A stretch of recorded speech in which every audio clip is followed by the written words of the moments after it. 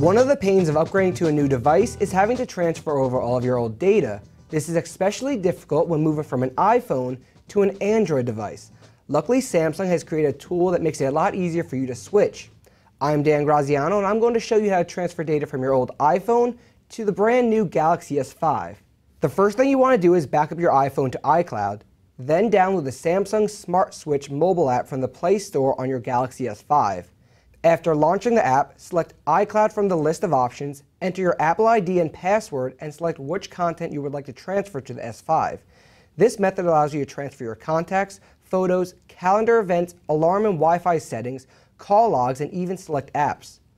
If you're not comfortable giving Samsung your Apple credentials, or if you're interested in transferring music and videos, you can also restore content to the S5 from an iTunes backup that is stored on your computer. To do this, you must first download and install the Samsung Smart Switch desktop software on your PC or Mac.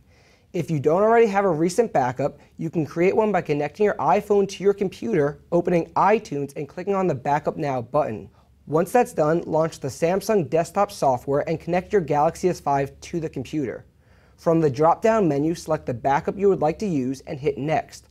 On the following page, you'll be able to choose which content you would like to transfer.